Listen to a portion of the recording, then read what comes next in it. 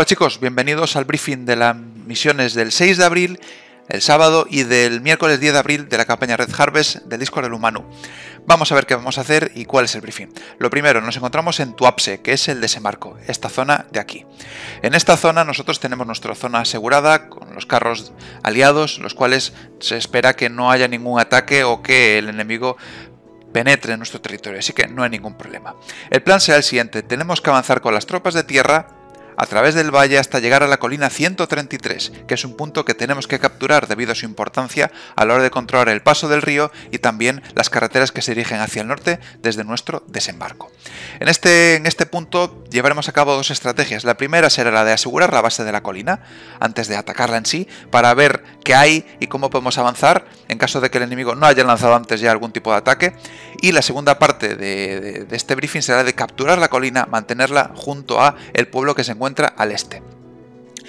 Nosotros para llevar a cabo esta misión contamos con infantería mecanizada, infantería en sí y carros blindados.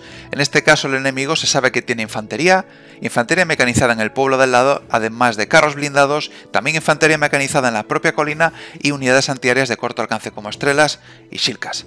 Es raro que el enemigo tenga manpas debido a que no tiene mucho inventario, pero aún así habrá que estar con cuidado. Además, en cuanto a soporte, se sabe que el enemigo tiene infantería motorizada al norte, es decir, infantería que tiene camión, que va en camión. Por lo tanto, si llegamos a atacar ya en el primer día, es probable que manden refuerzos de manera muy rápida. Además, y en la otra línea de sector de control nos encontramos con un punto fuerte, y es que tienen carros blindados, logística y artillería, aunque esto es del sector este, puede ser que acaben moviéndolo hacia nuestro, nuestro, nuestro territorio, por lo tanto habrá que tener cuidado. el, equipo aéreo de ala rotatoria, helicópteros, acompañarán a los grupos de tierra hasta la base de la colina después ya se verá qué hacer. En cambio, el ala fija, que despegará desde Sochi, comenzará ya también a atacar la colina y empezar a machacarles. Recordad que cuanto más hierro se le lance, mejor. Y es que si en el primer día ya abandonan la colina, nosotros la ocuparemos si nuestras tropas son suficientes, puede ser que la infantería motorizada que realice el contraataque se dé la vuelta y espera que lleguen los refuerzos. Así que tendríamos ya la ventaja en cuanto a capturar esta colina.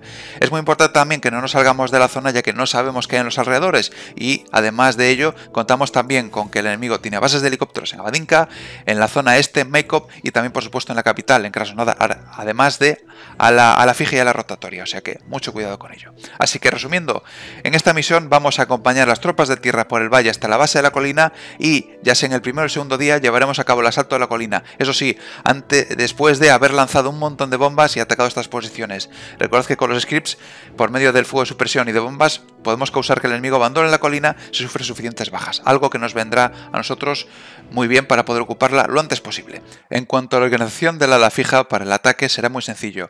De 0 a 6.000 pies será zona de operaciones de helicóptero a lo largo de todo el valle. El ala fija tiene prohibido meterse en el valle a baja cota para evitar problemas con los helicópteros. Por otro lado, el ala fija se dividirá en baja cota a unos 10.000, 15.000 pies para los aviones lentos como el A-10 y alta cota entre 15.000 y 20.000 pies para ataques de baja precisión en la zona de la colina. Todos los virajes serán a derechas después de atacar para volver de nuevo a Tuapse y volver a realizar el ataque en la misma dirección del eje de avance de los aliados. En cuanto a la navegación, recomendamos que el ala fija vuele por la costa hasta llegar a Tuapse, que es su siguiente waypoint, y después atacar la colina hacia el norte.